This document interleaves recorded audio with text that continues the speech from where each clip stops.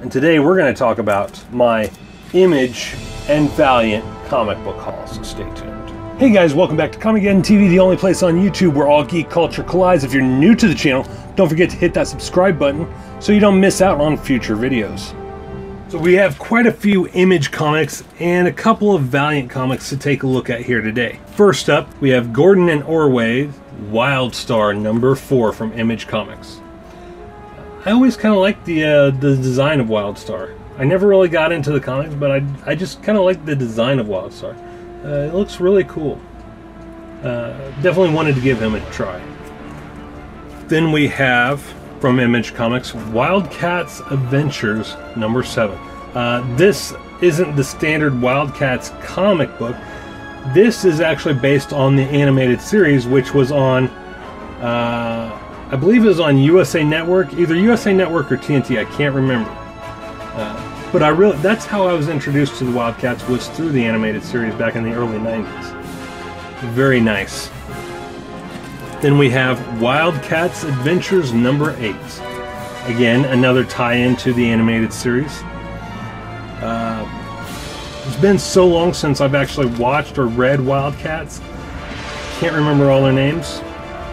Uh, but eventually, the character of Grifter did become a part of DC Comics. I'm not sure if the other Wildcats did or not, but definitely Grifter did. Then up next we have Super Patriot number three. Very cool, very dark cover. Then Supreme number six. Uh, kind of Image Comics version of Superman, for the most part. Uh, Extreme Studios, Brian Murray, Chris, and Ivy. Very nice. Then we have from James, Ro James Robinson and Scott Hampton, Gen 13, number 7, bootleg. From Valiant Comics, we have X-O Manowar, number 14, featuring Turok.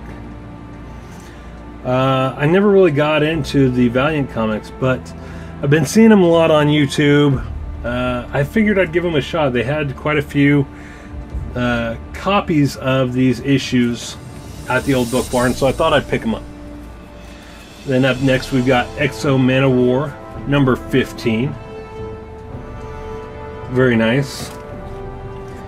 And finally, X-O Manowar, number 19. Again, these old Book Barn comics aren't in the greatest condition, but they're still nice to have and add to the collection nonetheless.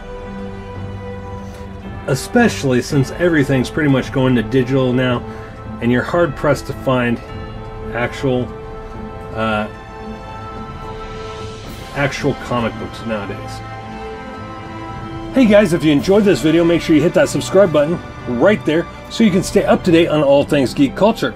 Also, you can check out one of these two playlists right here on the side for more videos just like the one you just watched.